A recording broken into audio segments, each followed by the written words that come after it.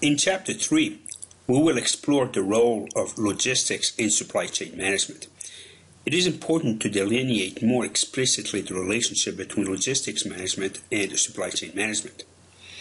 Supply chain management has been defined using a pipeline analogy, the initial supplier to the ultimate customer. Another perspective is a connecting network of the logistics systems and related activities that are part of a particular supply chain. Logistics management encompasses logistics systems not only in the private business sector, but also in the public or government sectors as well as non-profit sectors. In addition, Service organizations such as banks, hospitals, restaurants, hotels have logistics challenges and issues as well. Each of these subdivisions or sectors have some common characteristics and requirements, such as forecasting, scheduling, and transportation.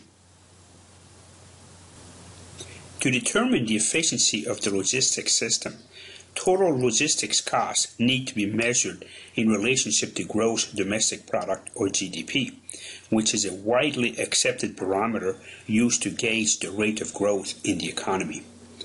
The micro dimension of logistics examines the relationships between logistics and other functional areas in an organization's marketing, manufacturing or operations, finance and accounting, among others.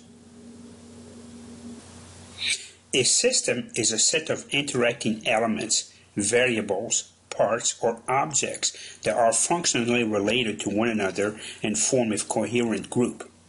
The general tenet of the systems concept is that the focus is not on individual variables, but on how they interact as a whole.